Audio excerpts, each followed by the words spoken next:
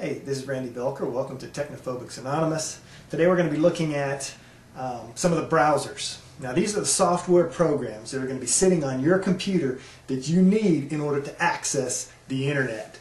Um, there's three primary browsers. There's Internet Explorer, which is the most popular one. It's made by Microsoft. They give it out for free on the computer, so uh, it's almost guaranteed that you already have that and you already have it on your computer.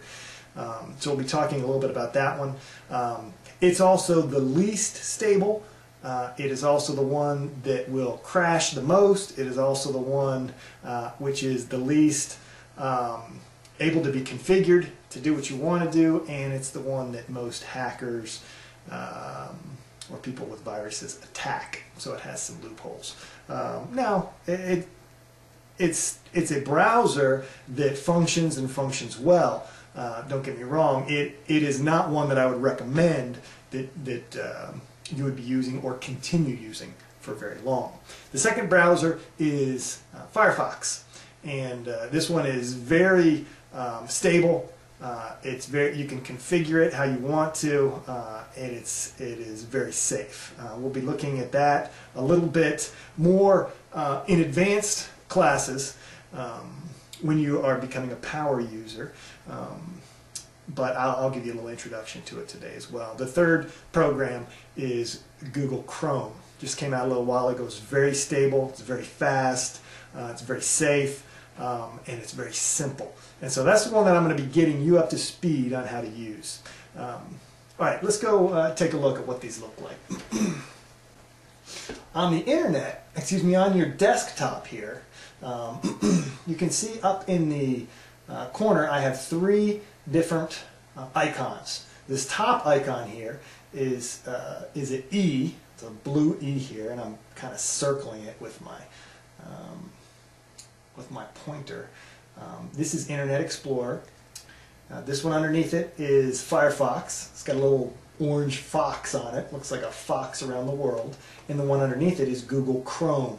Uh, it's got a round button here with red, green, and yellow on it. Um, now I've already installed these on my computer and uh, in, all three of them basically do the same thing. They allow your computer to go out and look at other people's computers.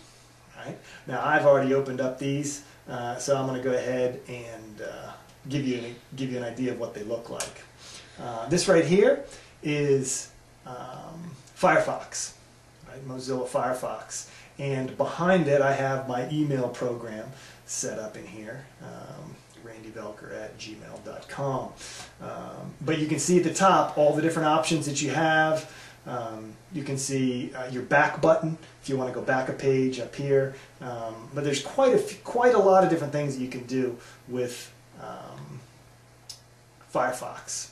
The this is the one right here. This is Internet Explorer. Again, I have the same program open, Gmail, so you can take a look at uh, how they how they are comparable. And it's the same thing. You have different options up in the top of things you want to do. Um, there's a back button. Uh, it's very similar to Firefox and different options of things that you can do when you're out on the internet looking around and surfing. Uh, the third one is um, The third one is uh, Google Chrome. This is this is called Chrome. You can see this one looks a little bit different than the other two. Uh, there are less options, less things for you to do, and it again, it has the same uh, my Gmail that's that's opened up here. Um, and here at the top, you have your back button, your forward button, and you have your uh, command line, um, what your where you want to go on the internet.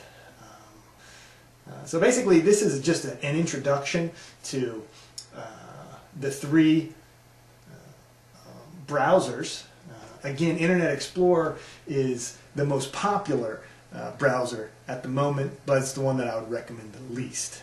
what I would recommend is for you to, to get into Internet Explorer and you would go and you would search for Google Chrome.